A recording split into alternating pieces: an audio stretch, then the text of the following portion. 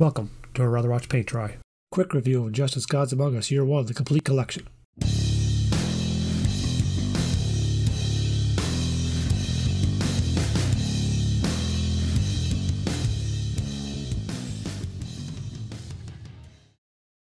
Picked up this trade a little while back. It is Injustice Gods Among Us Year 1 for the complete collection.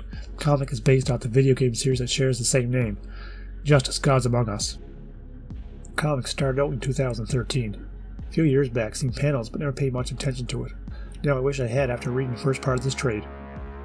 Basic plot has the Joker trick Superman into killing Lois, who was pregnant at the time. Very angry Superman does something he would never do. Next, he is part of the Justice League set about stopping the world's government from waging war, while Batman's side tries to stop them. This is the best storyline I read in a comic in a very long time. Each issue tells a different side of the conflict, each questioning whether they're doing the right thing. Even with all the tension, they manage to work in some comedy as well. I think the best thing about this story is they don't have to hold back. The characters you know do some pretty violent things. There are many superhero deaths along the way. Enjoyed every page of this trade. After reading it, looked up more on it. This one came out back in 2016. Found out there are more, three other complete collections, with the fifth one on the way. Need to get my hands on them all. Well worth the time and money.